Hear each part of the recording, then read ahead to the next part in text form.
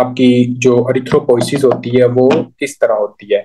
सबसे पहले fetal erythropoiesis के बारे में हम देखेंगे कि फीटल अरिथ्रोपोइसिस किस तरह होती है। तो हम देखेंगे कि जनाब आपका एक तरह का फीटल अरिथ्रोपोइसिस क्या है। तो देखें बच्चों फीटल अरिथ्रोपोइसिस के बारे में आप लोगों ने ये कहना होता है कि जब फीटस होता है, उसके अंदर किस तरह आपकी प्रोडक्शन होती है आपके आरबीसी की। वो किस तरह आपके जो आरबीसी होते हैं, उनकी प्रोडक्शन हो रही होती है, उसको हम कहते हैं फीटल है। तो आपने ये कहना होता है कि हाँ जी जनाब, सबसे पहले कि एक तरह का जो फीटल अरिथ्रोपोइसिस होती है सबसे पहले जो आपके आरबीसी की प्रोडक्शन होती है, वो होती है यॉक सैक से। किधर से होती है आपके एक तरह के यॉक सैक से। यॉक सैक से जो प्रोडक्शन होती है, वो होती है थ्री टू एट वीक तक। ये रट्टा लगाना है, क्योंकि इसमें से एमसीक्यूज आ जाते होते हैं। तो आपने कहना है कि जो यॉक सैक होता है, उसमें से जो फीटस की जो अरिथ्रोपोइसिस हो रही होती है, वो कितनी होती है?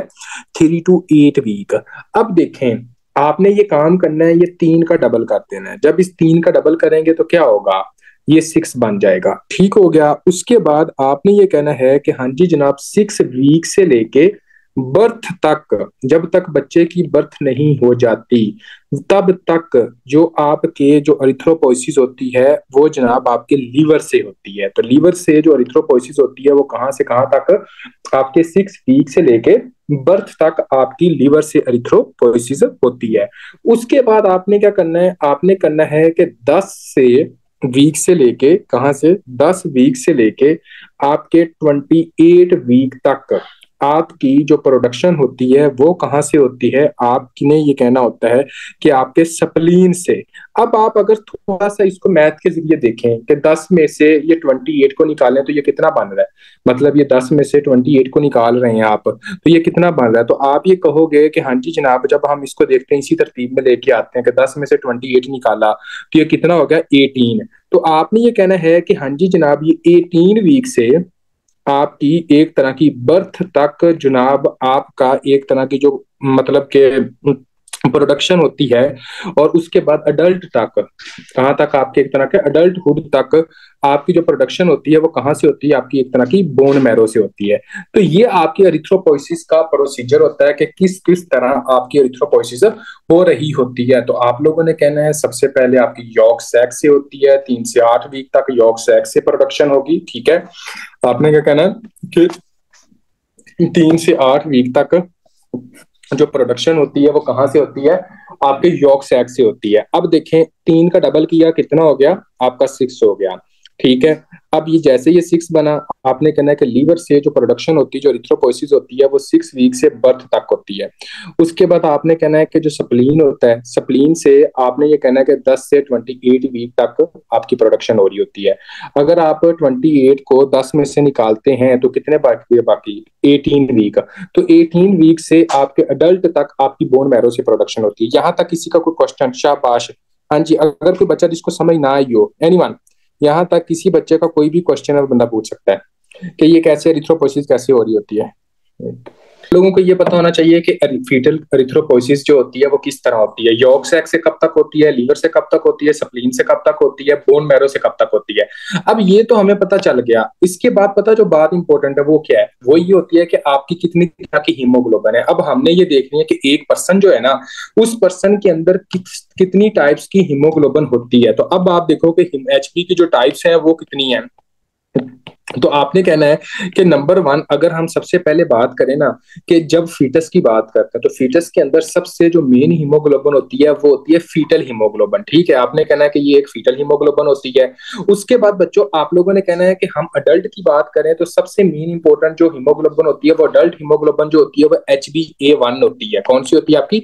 एच बी ए वन होती है, जिसको हम कहते हैं अल्फ़ा टू बीटा टू ये आपके आपके अंदर, मेरे अंदर, हर इंसान के अंदर सबसे सबसे ज़्यादा हीमोग्लोबिन की जो कंसंट्रेशन होती है वो कौन सी होती है? वो जनाब आपकी adult haemoglobin H B A one की होती है बच्चों, ठीक हो गया?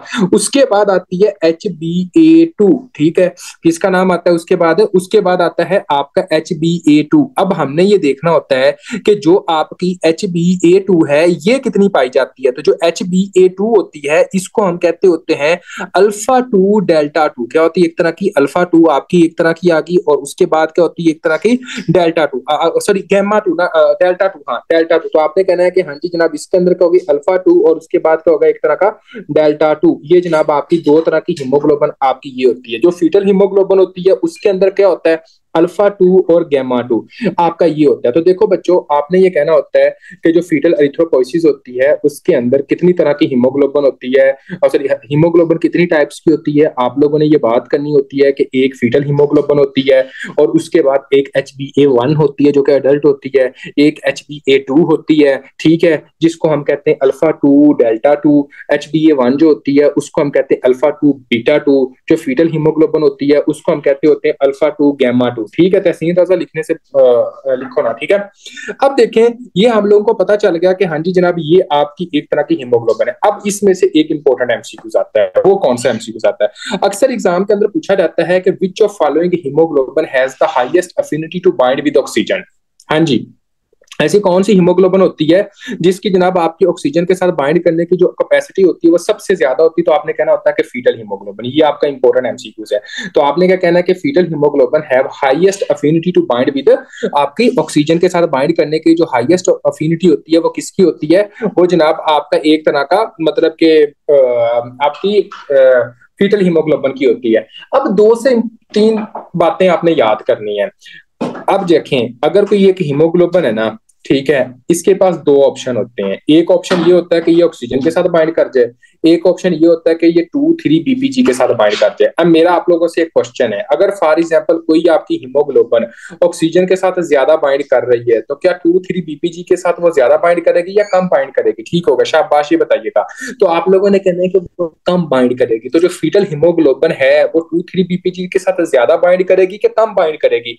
तो ये एक एमसीक्यू आता होता है कि आपकी ऐसी कौन सी हीमोग्लोबिन होती है जो कि टू थ्री बीपीजी के साथ सबसे कम बाइंड करती है। तो आप लोगों ने कहना होता है फीटल हीमोग्लोबिन और आपके पास जो क्वेश्चन आता है कि आपकी कौन सी ऐसी हीमोग्लोबिन होती है जो कि ऑक्सीजन के साथ सबसे ज़्यादा बाइंड करती है? तो आप लोगों ने कहना होता है कि फीटल हीमोग्लोबिन क्लियर है बच्चों? कोई ऐसा बच्चा जिसका कोई क्वेश्चन है, वो बंदा ये पूछ सकता है, वरना हम नेक्स्ट आगे कंटिन्यू करते हैं। एनीवन ओके अभी मैं आप लोगों को इधर से कवर भी करवा देता हूँ बुक से भी। इधर क्या है?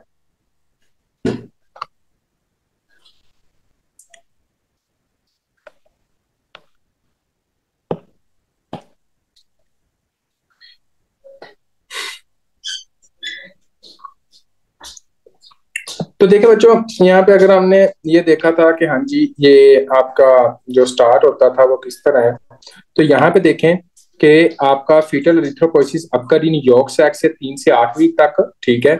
उससे बाद योग सैक से आपका लीवर उसके बाद लीवर से जनाब सिक्स वीक से लेकर तीन का डबल किया सिक्स हो गया लीवर से सिक्स वीक से बर्थ तक उसके बाद सप्लीन सप्लीन से क्या होता है? आपने ये कहना होता है कि टेन से ट्वेंटी एट वीक तक, टेन से ट्वेंटी एट को बाहर निकाला तो कितना जाएगा? एटीन वीक एटीन वीक से बर्थ तक जो होता है वो बोन मैरो से होती है। ठीक हो गया?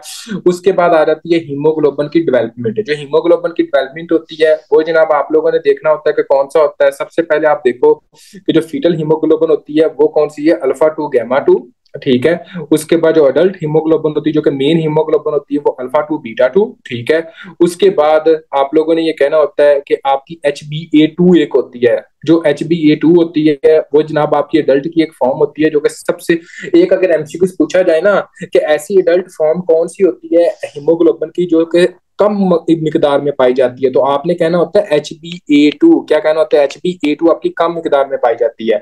और अगर एमसीक्यूज आए ना, कि आपकी ऐसी कौन सी हीमोग्लोबिन होती है जो कि ज़्यादा मिकदार में पाई जाती है तो आपने कहना होता है कि H B A one H B A one जो होती है, वो अल्फ़ा टू बीटा टू होती है, जो कि सबसे हाइएस्ट अमाउंट में पाई जाती है। उसके बाद एच बी ए टू जो होती है, वो होती है अल्फ़ा टू और उसके बाद क्या आ जाती है आपकी एक तरह की डेल्टा टू क्या होता है? एक तरह का डेल्टा टू तो आपने ये कहना है। उसके बाद अल्फ़ा टू गैमा टू जो होती है, उसके अंदर जनाब आपकी फीटल हीमोग्लोबिन आ जाती है। आगे देखें, आगे आप लोगों को पता होना चाहिए, यहाँ पे क्या लिखा haemoglobin has the fetal haemoglobin of the oxygen due least avid binding of the two three BPG ठीक हो गया? तो मैंने क्या कहा था कि हाँ जी जनाब क्योंकि ये टू थ्री बीपीजी के साथ फिर क्या करेगी? कम बाइंड करेगी। Fetal haemoglobin to extract oxygen from maternal haemoglobin H B A one and across the placenta H B A two is उसने क्या किया? H B A two across the placenta जो है वो जनाब क्या is a form of adult haemoglobin present in small amount क्या होता है? ये एक तरह की स्मॉल अमाउंट के अंदर पाई जाती है। तो ये बच्चों आप लोगों ने याद करना है। अभी हम जो डिस्कस करेंगे वो आपके ब्लड ग्रुप के बारे में डिस्कस करेंगे। क्लियर है? कोई ऐसा बच्चा जिसका कोई क्वेश्चन है, वो आप लोग मुझसे पूछ सकता है, फिर हम आगे कंटिन्यू करते हैं। एनीवन शाबाश।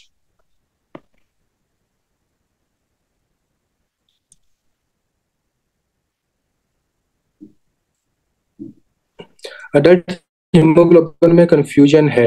मतलब ये दोनों अडल्ट में होती हैं क्या? और फीटल हीमोग्लोबिन कब अडल्ट हीमोग्लोबिन में चेंज होती है? गाइड प्लीज़ देखो, मेरी बात सुनो। जो आपकी अडल्ट हीमोग्लोबिन होती हैं, ये दोनों आपके अडल्ट के अंदर पाई जाती हैं। ये तीन तरह की हीमोग्लोबिन आपकी बॉडी के अंदर हर टाइम होती है। फीटल हीमोग्लोबिन भी होती है H B A one adult haemoglobin भी होती है H B A two adult haemoglobin भी होती है। अडल्ट हीमोग्लोबिन की टाइपें हैं, एक एच बी ए वन है, एक एच बी ए टू है, ठीक हो गया? एच बी ए वन जो है, उसकी मिकदार हाइएस्ट होती है। उसकी मिकदार होती है नाइनटी परसेंट में नाइनटी सिक्स नाइनटी फाइव इस तरह, ठीक हो गया? उसके बाद जो एच बी ए टू होती है, उसकी मिकदार होती है कोई दो परसेंट, तीन परसेंट। पीछे जो सिर्फ़ एक परसेंट, आधा परसेंट जो रह जाता है, वो फीटल हीमोग्लोबिन का होता है। आपने ये कहना है। बाकी फीटल हीमोग्लोबिन आप जैसे आपकी मतलब कि आप अडल्ट के अंदर चेंज होते जाते हो फीटल हीमोग्लोबिन की जो कंसेंट्रेशन होती है, वो कम होती जाती है। फीटल हीमोग्लोबिन की सबसे ज़्यादा जो हाईएस्ट कंसेंट्रेशन होती है, वो फीटस के अंदर ही पाई जाती है। और कुछ ऐसी डिजीजेज होती हैं, जिसके अंदर हम खुद चाहते हैं कि फीटल हीमोग्लोबिन के लेवल को बढ़ाया जाए। जैसा कि सिक्कल सेल की डिज़ीज़ हो गई, उसके अंदर भी हम ये चाहते हैं कि कहीं फीटल हीमोग्लोबिन का लेवल थोड़ा सा बढ़ जाए। ये कुछ ऐसी होती है जिसके अंदर हम ये चाहते हैं। समझ आ गई तो फिर? ओके अभी हम आते हैं आगे और आगे देखते हैं कि आगे का क्या सीन है। आगे आप लोगों को पता होना चाहिए कि आपका एक तरह का ब्लड ग्रुप के बारे में, कि ब्लड ग्रुप का क्या हिसाब होता है। बच्चों, सबसे पहले ना एक बात आपने अपने माइंड में रखनी है। जो भी किसी का ब्लड ग्रुप है ना, उसकी सरफस के ऊपर सेम एंटीजन है। समझ आ रही है? अगर किसी बंदे का जो भी ब्लड ग्रुप है, उसकी सरफस के ऊपर क्या है? सेम एंटीजन है। जस्ट इमेजिन अगर किसी बंदे का ब्लड ग्रुप ए है ना, ठीक है? तो आप ये कहते हैं कि हाँ जी जनाब, एक बंदा जिसका ब्लड ग्रुप ए है।